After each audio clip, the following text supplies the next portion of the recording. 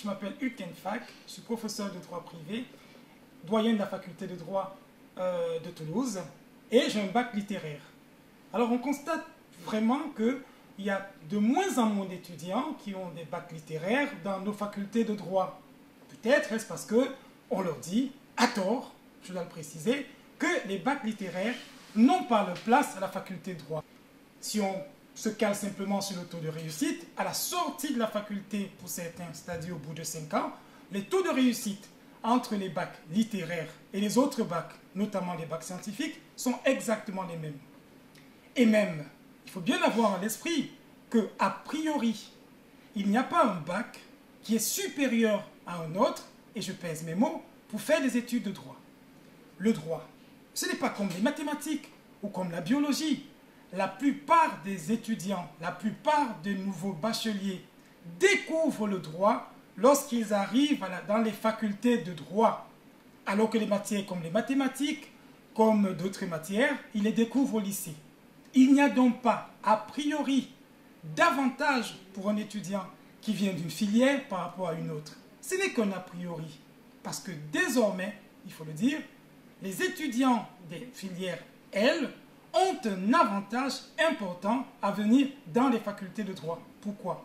Ils ont un enseignement de droit et grands enjeux du monde contemporain, substantiel, dès le lycée.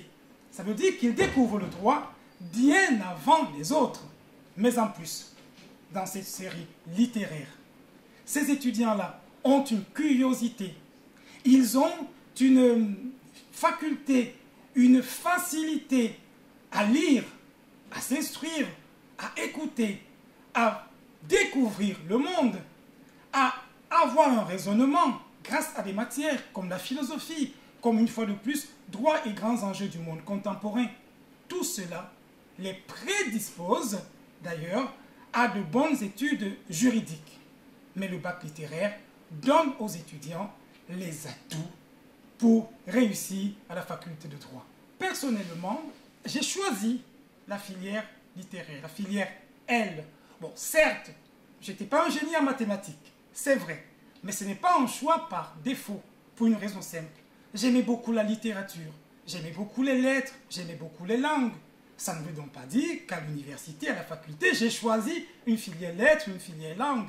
J'ai choisi la filière droit. Et j'ai eu une certaine réussite, pour ne pas parler de moi. Pourquoi? Parce qu'une fois de plus, avec cette littérature, avec ce raisonnement qui m'avait été inculqué dans cette filière L, j'avais des prédispositions pour réussir dans le droit. Parce qu'après tout, le droit, c'est aussi une méthode, c'est un raisonnement, c'est une manière d'être, c'est une manière de faire que mes enseignants, mes professeurs dans le, au lycée m'ont apporté.